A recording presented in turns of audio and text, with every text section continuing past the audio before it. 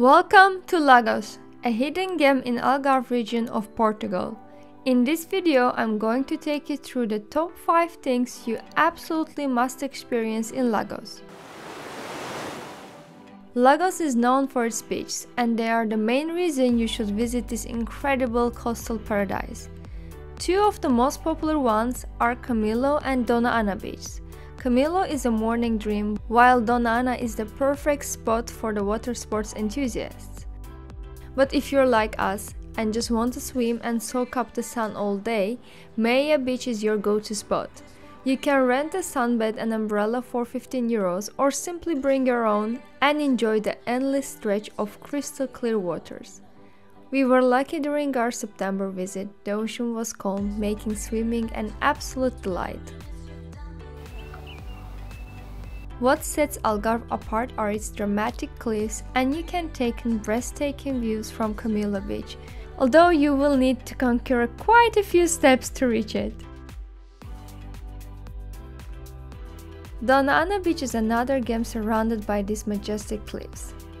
Our personal favorite was around Marinha Beach, where you can take a 10 minute hike to witness natural arch that, when viewed from the right angle, resemble a heart. It's also incredibly close to the famous Benagil Cave, and you will see adventurous kayakers paddling beneath these arches. Now, let's talk about the most crucial part of any trip the food. Before your trip, make reservations because the top places tend to have long queues or be fully booked. Lesson learned Always make a reservation or be prepared to discover the next best place. We had delicious dinner, house wine and amazing time at Mangi Tapas Bar. For seafood lovers, Cantinho Algarve is a must visit, although it can get pretty busy. If you're flexible enough to sit inside, you might snag a spot faster. Elmer had octopus and I ordered cod with passion fruit sauce. Another memorable dining experience was at Com Espinhas, where every tapas dish was a culinary delight. Their shrimp was simply amazing. We ordered all the tapas and we ordered them again to enjoy with the housewife. And the best piri piri chicken, look no further than Churrasqueria Mercado Jalvor. It's the only place we willingly waited in line and it was worth it. Piri piri, salad, sardinas and house wine Everything was delicious.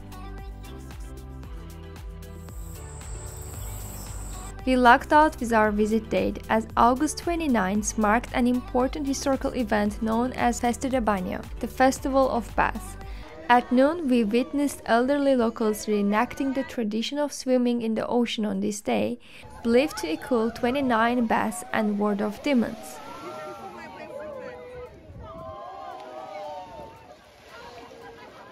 In the afternoon, we strolled through the charming streets of Lagos, admiring the local architecture and exploring souvenir shops. In the evening, festivities continued for all ages. So, if you're in the area, make sure to explore the city during the daylight and immerse yourself in the local culture.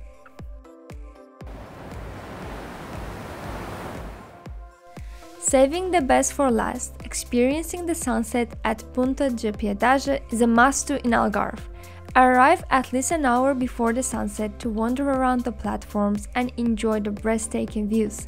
Hundreds of people gather here for this magical moment every day, so arriving early ensures an intimate spot to savor this unique experience. We spent only three days in Lagos, yet it made us to fall in love with its mesmerizing beaches and cliffs, delicious cuisine, and cultural celebrations. Don't miss out on any of these top 5 things to do when you visit this destination.